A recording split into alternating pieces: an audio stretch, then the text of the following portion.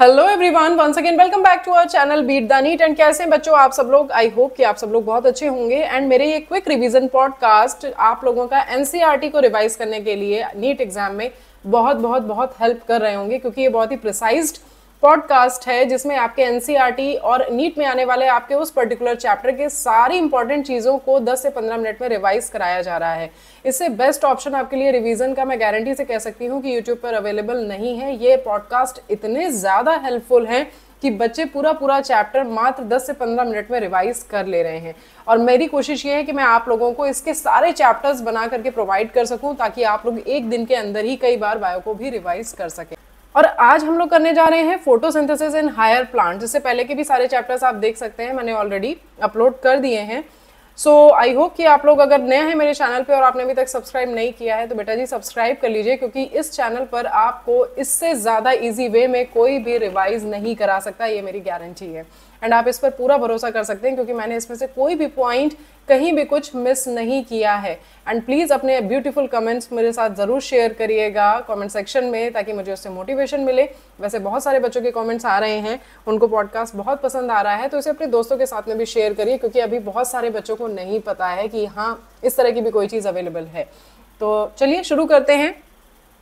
Chapter है photosynthesis in higher plants थोड़ा सा लेंदी चैप्टर है।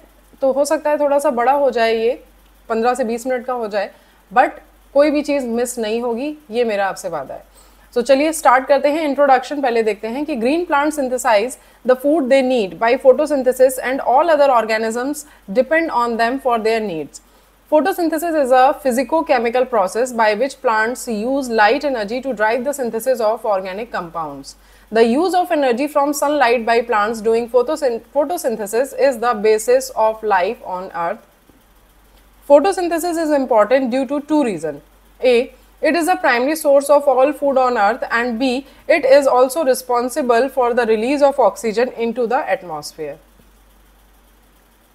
next आता है कि हम इसके बारे में क्या जानते हैं।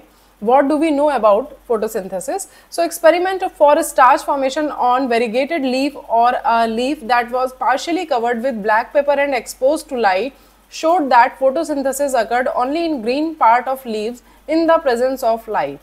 Experiment where a part of leaf is enclosed in a test tube with some KOH soaked cotton which absorbs CO2 while other half is exposed to air and set up kept in light proved that CO2 is needed for photosynthesis. There are so many early experiments which I am sharing the main things of those experiments. So the first one is of Joseph Priestley. They used or he used a burning candle, a mouse, mint plant and a bell jar for closed space. Hypothesized that plants restore to the air whatever burning candles or breathing animals remove. Next of John Ingenhousz in an elegant experiment with an aquatic plant showed that in bright sunlight plants produce oxygen. Third one is the Julius von Sachs found that glucose is made in green plant parts and stored as salt, starch. Next was the T.W. Engelmann Using a prism, green algae, cladophora and aerobic bacteria described the action spectrum of photosynthesis which roughly resembles the absorption spectrum of chlorophyll A and chlorophyll B. And the next one is Cornelius von Niel. He demonstrated that photosynthesis is essentially a light dependent reaction in which hydrogen from suitable oxidizable compound reduces CO2 to carbohydrates. H2S is hydrogen donor for purple and green sulfur bacteria H2O, the hydrogen donor in green plant is oxidized to O2.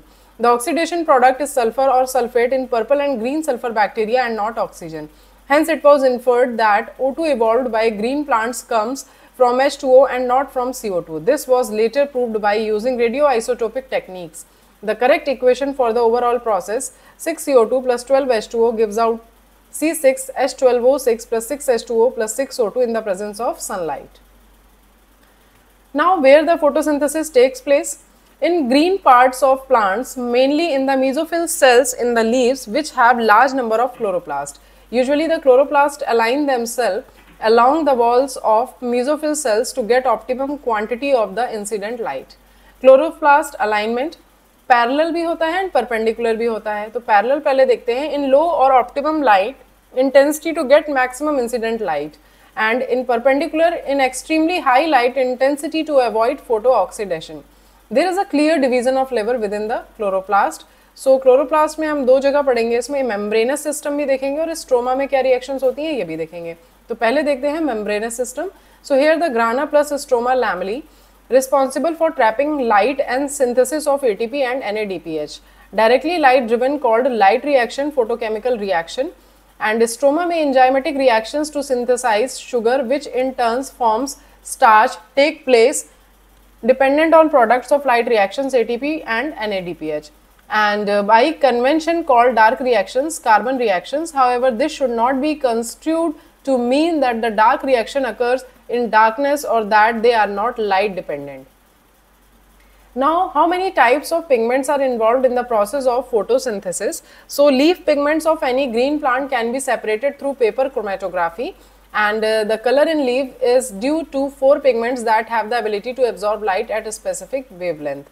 Now, the color of the pigments in the chromatogram. So, chlorophyll A is bright or blue green, chlorophyll B is yellow green, Xanthophyll is yellow, carotenoids are yellow to yellow orange and the wavelength of light at which there is maximum absorption by chlorophyll A that is in blue and red region and also shows higher rate of photosynthesis hence we can conclude that chlorophyll A is the chief pigment associated with photosynthesis. Chlorophyll B, carotenoids and xanthophyll are accessory pigments. They absorb light and transfer the energy to chlorophyll A. They enable a wider range of wavelength of incoming light to be utilized for photosynthesis and also protect chlorophyll A from photooxidation. Now, what is light reaction? So, light reactions or the photochemical phase include light absorption, water splitting, oxygen release and ATP and NADPH formation. Several protein complexes are involved in the process and the pigments are organized into two photosystem. So photosystem 1 and photosystem we have, photosystem 2 we have. So सबसे पहले हम देखते हैं photosystem 1 it is having LHC1 and uh, reaction center ठीक है so reaction center is having the absorption peak at 700 nanometer and uh, LHC1 that is hundreds of pigments are present over there and one molecule of chlorophyll A we are talking about and in the case of photosystem second LHC second is there and the reaction center absorb peak at 680 nanometer named in the sequence of their discovery and not in the sequence of their function. अब आता है the electron transport system. The whole scheme of transfer of electrons starting from photosystem second uphill to the acceptor down to ETC to PS1, excitation of electrons से फिर उसके बाद transfer to another acceptor, then after finally downhill, then after to NADP positive, then after to reducing it to NADP plus H ion is called the Z scheme due to its characteristic shape. This shape is formed when all the carriers are placed in a sequence on a redox potential scale. Now the next one is splitting of water.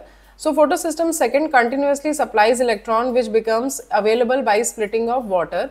Water splitting complex is associated with photosystem second which itself is physically located on inner side of membrane of thylakoid. Water split into 2H ion, uh, oxygen and electrons and this creates oxygen one of the net products of photosynthesis. Then after cyclic and non-cyclic photophosphorylation, when both photosystem 1 and photosystem 2 are involved, the process is non-cyclic producing ATP, NADPH plus H ion and oxygen.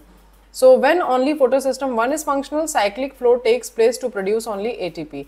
A possible location for cyclic flow is the stroma lamellae membranes which lack photosystem 2 and NADP reductase enzyme. Cyclic photophosphorylation also occurs when only light of wavelengths beyond 680 nanometer are available for excitation. The membrane or lamellae of the gramina have both photosystem 1 and photosystem 2. अब आता है chemo-osmotic hypothesis. So ATP synthesis in photosynthesis is linked to development of proton gradient across the membranes of thylakoid and protons accumulate in the lumen of thylakoids.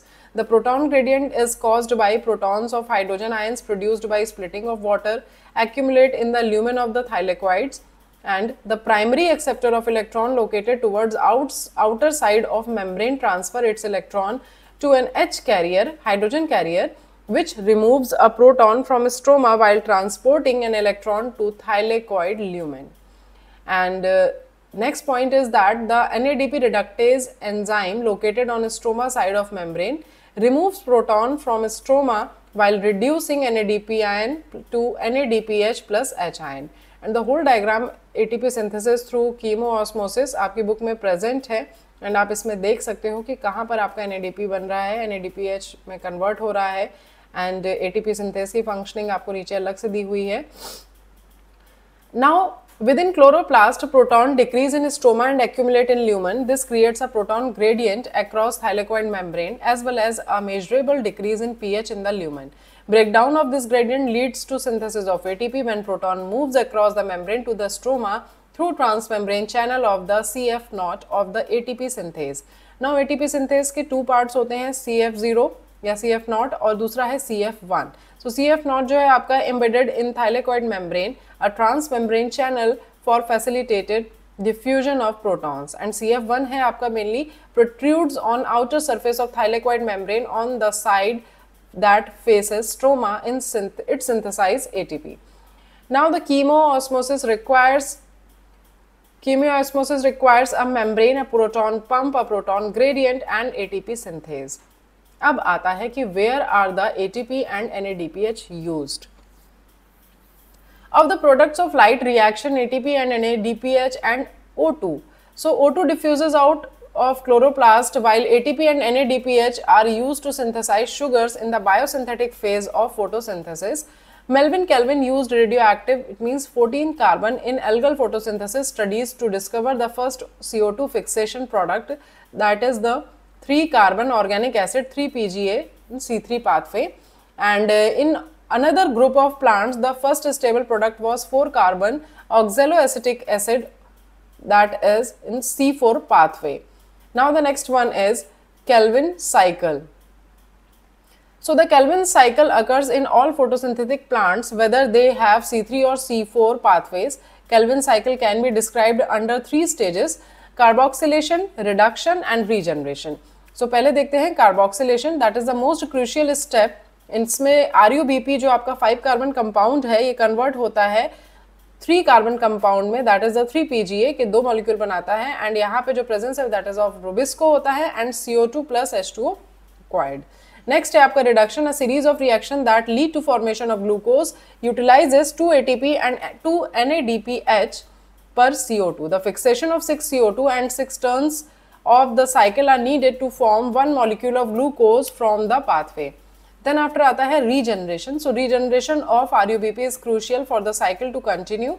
This step require 1 ATP. So to produce one molecule of glucose in Calvin cycle, an input of 6 CO2, 18 ATP and 12 NADPH are required.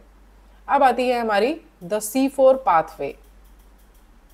Plants adapted to dry tropical regions have the C4 pathway. C4 plants are special. They have a special type of leaf anatomy, tolerate high temperature, show response to high light intensities, they lack photorespiration and have greater biomass productivity.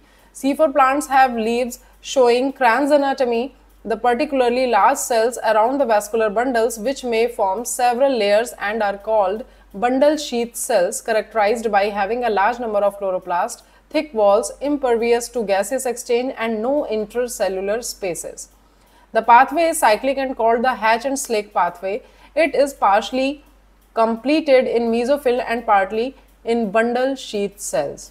अब आता है आपका mesophyll cell and मंडल शीत cell इनमें difference देखते हैं so mesophyll cell में primary C O two acceptor is a three carbon compound PEP and enzyme for this fixation is PEP case and it lacks rubisco मैं पूरा mesophyll cell पहले बता रही हूँ.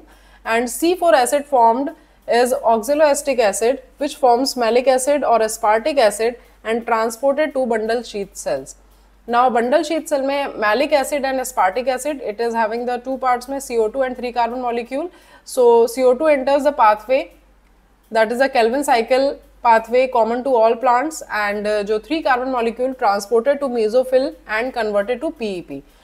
ये rich in rubisco होती हैं but lack in PEPA PPAP case. And now the photorespiration. So Rubisco, the most abundant enzyme in the world, has the active site that can bind to both CO2 and O2. This binding is competitive. It is the relative concentration of O2 and CO2 that determines which of the two will bind to the enzyme. Now the Rubisco has much greater affinity for CO2 when the CO2 O2 is nearly equal than for O2. In C3 plants, some O2 does bind to Rubisco and hence CO2 fixation is decreased due to the following reaction. So the reaction is like uh, RuBP plus O2 in the presence of Rubisco, 3 PGA, 3 carbon compound plus 2 phosphoglycol glycolate, 2 carbon compound is forming. This is called photorespiration. In photorespiration, there is neither synthesis of sugar nor of ATP. It results in release of CO2 with the utilization of ATP. The biological function of photorespiration is not known yet. In C4 plants, photorespiration does not occur as they have a mechanism that increase the concentration of CO2 at the enzyme site. This ensures that the Rubisco functions as a carboxylase, minimizing the oxygenase activity. Now we will see the factors which are affecting the photosynthesis so इसमें हम सारे ही factors देखेंगे internal देखते हैं पहले। सो so basically पहले है क्या ये? Photosynthesis under the influence of several factor both internal as well as external तो पहले देखते हैं internal so the plant factors include the number of size as orientation of leaves mesophyll cells and chloroplast internal CO two concentration and the amount of chlorophyll and the plant और internal factors are dependent on the genetic predisposition and growth of plant. External factor may आपका include availability of sunlight, temperature, CO2 concentration and water. अब आता है आपका Blackman's law of limiting factor. If a chemical process is affected by more than one factor, then its rate will be determined by the factor which is nearest to its minimal value. It is the factor which directly affects the process of its quality is changed. Now the next one is light. Light saturation occurs at 10% of the full sunlight except for plant in shades or in dense forest. Light is rarely a limiting factor in nature. ये हम external factor देख रहे हैं. There is a linear relationship between the incident light and CO2 fixation rate at low light intensities. At higher light intensities, gradually the rate does not show further increase as other factors becoming limiting. CO2 concentration है. So major limiting factor है ये. the concentration of CO2 is very low in the atmosphere 0.03 and to approximately 0.04 percent. So increase in concentration up to 0.05 percent can cause increase in CO2 fixation rate and beyond this level it can become damaging over longer periods. At low light condition either group uh, respond to high CO2 conditions. C4 plants show saturation at 360 micro 1 per liter and C3 saturation is seen at 450 and some greenhouse crops like tomatoes and bell pepper show higher yields in CO2 enriched atmosphere. Next external factor is temperature. Dark reaction being enzymatic or temperature controlled, light reactions are also temperature sensitive. C4 plants show higher yield at high temperature while C3 plants have a much lower temperature optimum. Now the last factor is water. Effect of water as a factor is more through its effect on the plant rather than directly on photosynthesis. Water stresses causes the stomata to close hence reducing CO2 availability. Water stress also makes leaves wilt thus reducing the surface area of leaves and their metabolic activity as well और इसी के साथ ही आपका ये chapter photosynthesis in higher plant complete हो गया है एंड आई होप कि आप लोगों को इसको रिवाइज करने में ज़्यादा टाइम नहीं लगा क्योंकि अप्रॉक्सीमेटली 17 से 18 मिनट में हमारा पूरा रिवीजन हो गया है एंड इसको अपने दोस्तों के साथ बच्चों ज़रूर शेयर करना ताकि उनको भी इससे रिवीजन में हेल्प मिल सके और अगर चैनल पर नए हो तो फटाफट सब्सक्राइब कर लो और अगर आपको लगता है कि ये पॉडकास्ट हेल्पफुल है तो press the like button and see you soon in the next podcast till then just stay tune with me good luck everyone bye take care